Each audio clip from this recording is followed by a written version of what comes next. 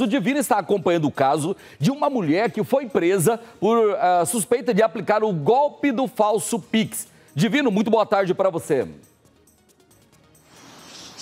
Muito boa tarde para você, Loares, e para todos que estão ligados no Balanço Geral. E não foi a primeira vez que ela aplicou o golpe não, viu, Loares? Ela comprou aí dessa vez um carrinho elétrico no valor de R$ 2.900 e aí ela fez o falso Pix, um Pix sem fundos. Na verdade, era um Pix agendado.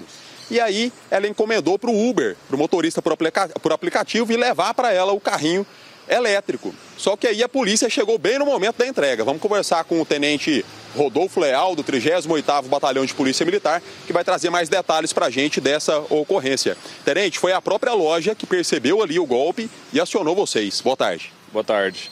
A própria funcionária da loja né, já teria sido é, vítima desse golpe outras vezes e dessa vez ela notou né, esse falso Pix, esse Pix agendado, né?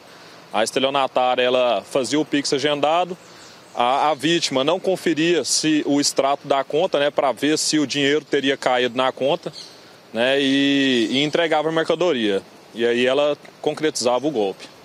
E aí no momento que o motorista por aplicativo estava entregando então esse carrinho, vocês observaram que na casa dela tinha outros produtos adquiridos da mesma forma. Sim, assim que o responsável pela loja informou a Polícia Militar né, da, do, desse golpe, a gente iniciou diligências né, e conseguiu localizar o Uber e levantou a informação de onde ele iria entregar o, a mercadoria. Nesse sentido, a gente deslocou até o local e conseguiu realizar a abordagem da estelionatária. Ela, na verdade, tenente, é a receptadora. Ela disse que guardava então esses produtos para uma outra pessoa e recebia um valor para isso. Sim, segundo informações dela, ela recebia é, um valor, aproximadamente 150 a 200 reais, para guardar a mercadoria que era repassada por uma terceira pessoa. Tenente, um detalhe chama a atenção, que ela foi conduzida, ela foi levada na viatura da polícia com um bebê de colo, né? Um bebê que necessitava ali de alimentação, por isso ele foi levado junto uma situação degradante para essa criança, né? Sim, com certeza. A Polícia Militar, durante a condução, tomou todas as medidas né, de segurança da criança, né? Porque ela não teria é, uma pessoa para ficar responsável pela criança e a criança também dependia é, da amamentação da mãe, né? Qual que é a recomendação, tenente, para donos de comércio, de donos de loja, em relação a esse tipo de transação? Não basta só receber ali o comprovante do, do Pix, né? Pelo WhatsApp, enfim.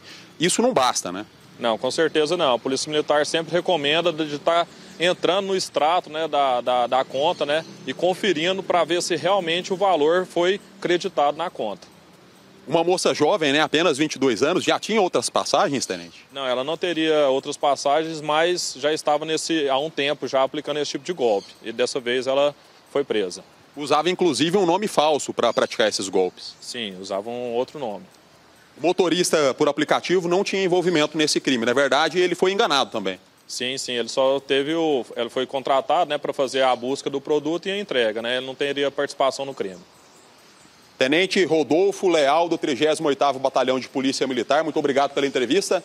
Ô Loares, situação complicada, né? Como eu disse, ela foi conduzida na viatura com um bebezinho de colo que precisava ser amamentado. A criança desde cedo passando por uma situação como essa, falta de noção e de responsabilidade dessa mãe, né? É, por causa da mãe, a criança começa a frequentar a delegacia logo cedo, né? Obrigado, Divino, e fica alerta, né? Vendeu aí, ó, entra no aplicativo lá e fala, pá, o dinheiro não caiu não. Caiu não, não olha aqui, ó, tá aqui, ó, não caiu não. Então não entrega, não feche negócio, não acredite só no print que a pessoa manda para você, porque ela pode é, acionar, quando aparece o nome ali da conta, ela printa e manda para a pessoa. Manda lá, concluída a operação, porque senão você vai cair em golpe também.